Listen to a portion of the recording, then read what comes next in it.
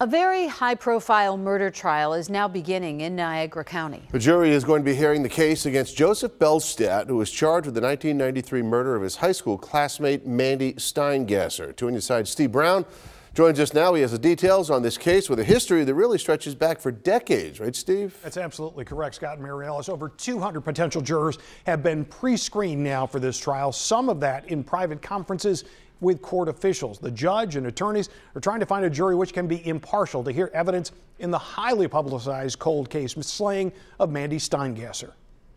A case which has been 27 years in the making is now formally underway for the defendant, 44 year old Joseph Belstadt, seen here in the gray shirt with his attorneys.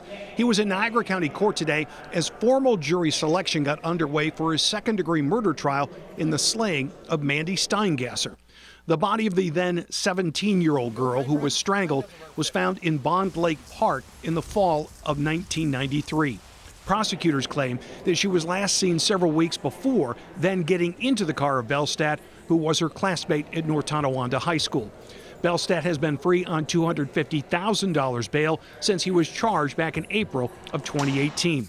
Investigators had suspected him of being involved in Steingasser's death for all those years, but it took the re examination of forensic evidence with more modern techniques to bring him to trial.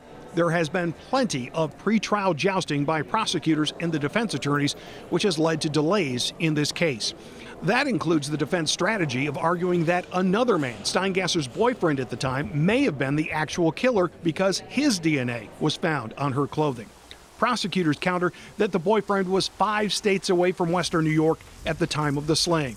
Judge Sarah Sheldon told jurors today that up to 100 witnesses may testify in the case, which could last for six weeks.